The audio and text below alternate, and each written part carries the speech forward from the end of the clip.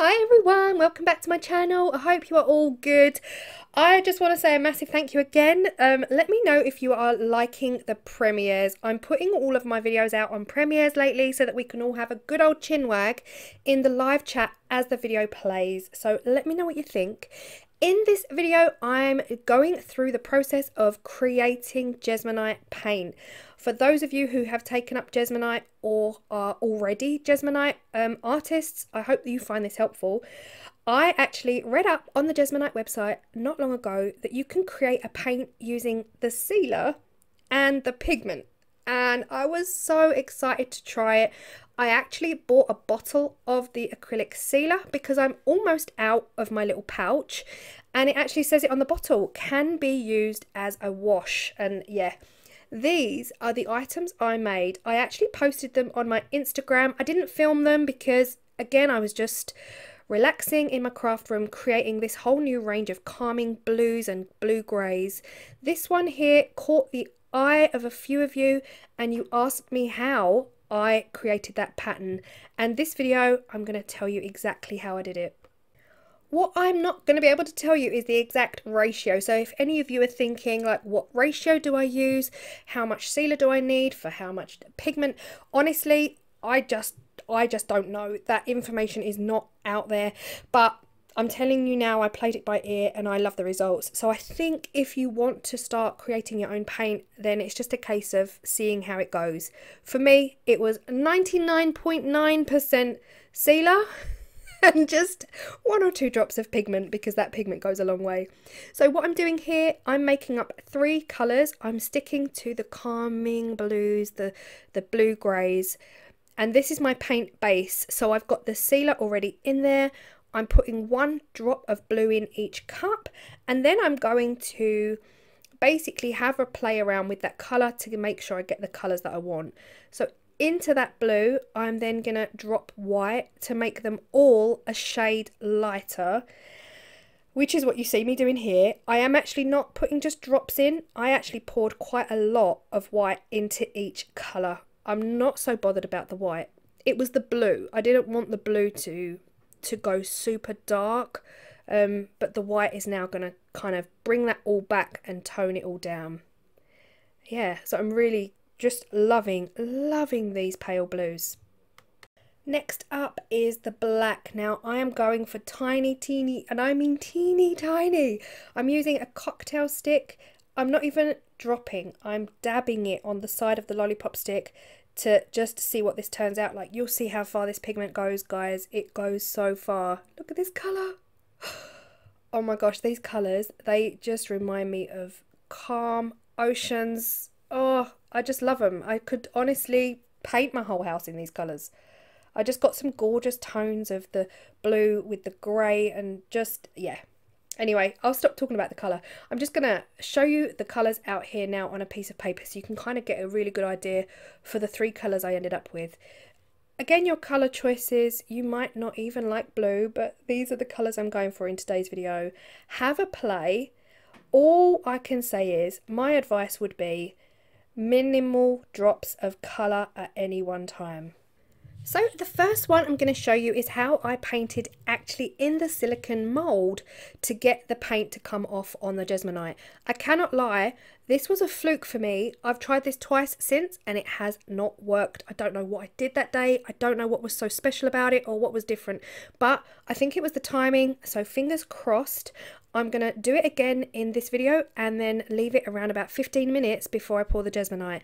I think I left it too long before. So yeah, fingers crossed. All I'm doing is swiping. There's nothing fancy here. I have to just let you all know now, I cannot paint for anything, okay? So this is definitely not a how to paint video. This is how to make the paint video. Um, so yeah, we, we do not pass judgment on my painting skills, but I have to say, I'm still loving these swipes. There was no rhyme or reason to it, I was just swiping it. Now you can see here how the silicon is repelling the paint and that is what gives you part of that pattern and I absolutely love it.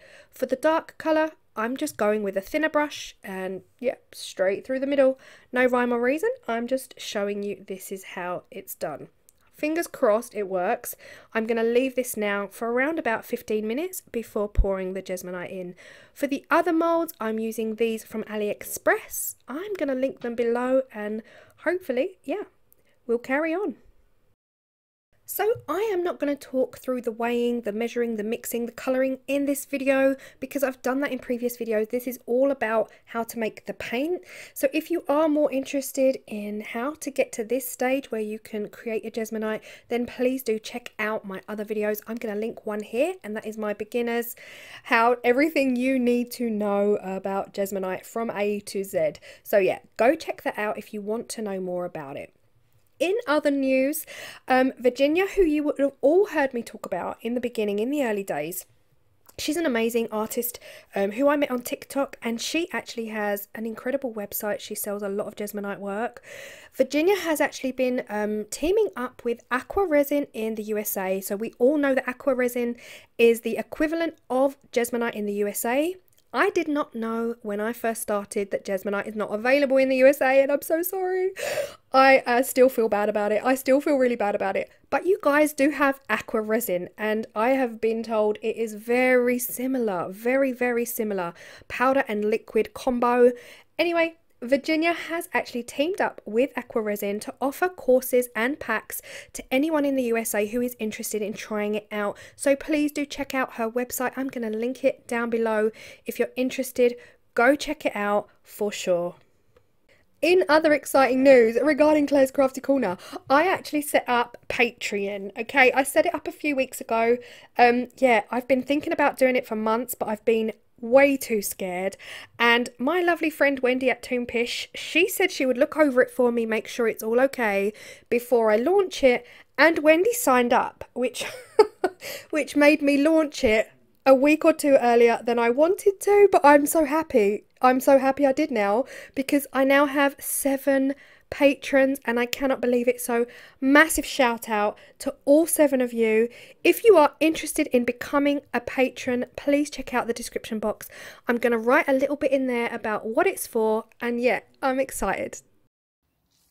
Okay, moment of truth for this one. This is the only one I need to demold that has already been painted.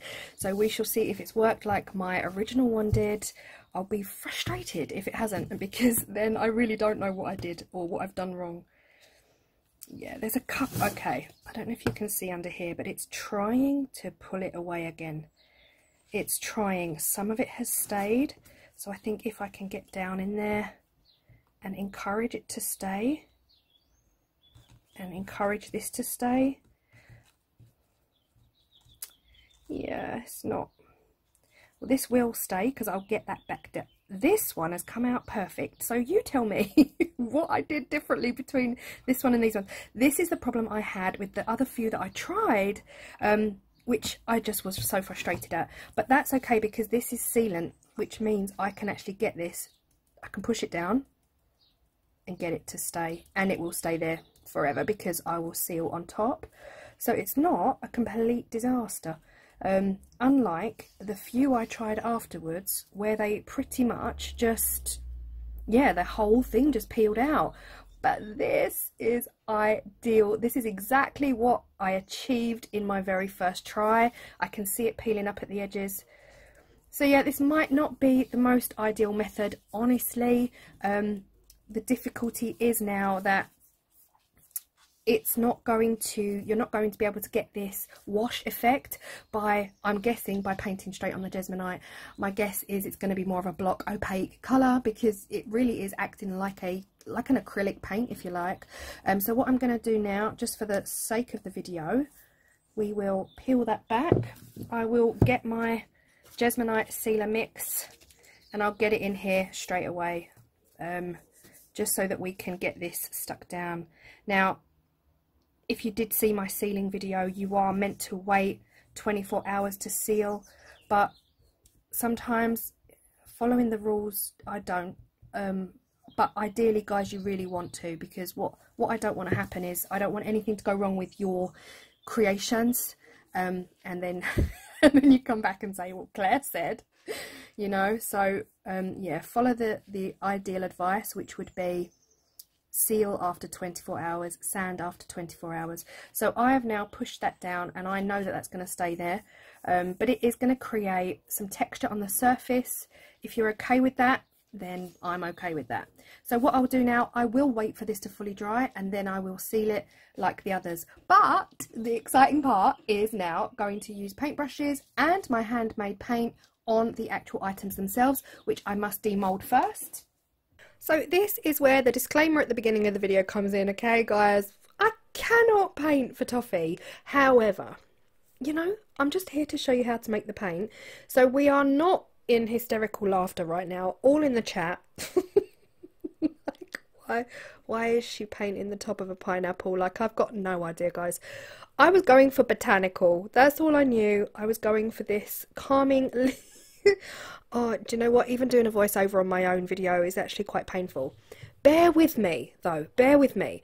It went from looking like a, a, a painful botanical piece to um, it evolved. It evolved into this under the sea world of coral and yeah, yeah, I'm trying. I'm really trying. The point is, I was so dis. I was like, guys, this is terrible. This is absolutely terrible. I can't. I really can't. And the more I put on, the more I kept going, the more I liked it. It it evolved into this. Yeah, I don't know what it became. I don't know what it became. It became a multi-layered, yeah, multi-textured something. There's a word. I don't know. The point is, don't give up okay? Because I actually love the result that this has created. Definitely will not be everybody's cup of tea, but honestly, yeah.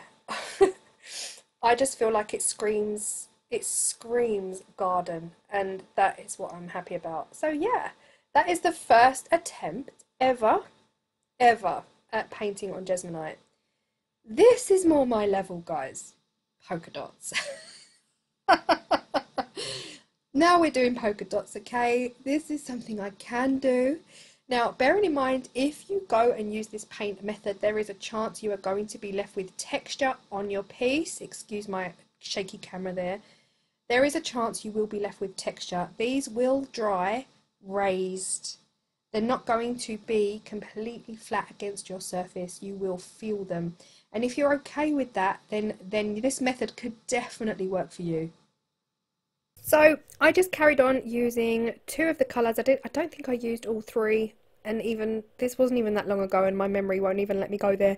But yeah, I just used two of the colours, carried on, adding dots throughout, and I love it. So with the pot, I had some leftover Jesmonite, and I'm now using that Jesmonite paint to create drips around the edge, fully inspired by burning a candle. this actual this actual pot can be used for tea lights because Jesmonite is fireproof.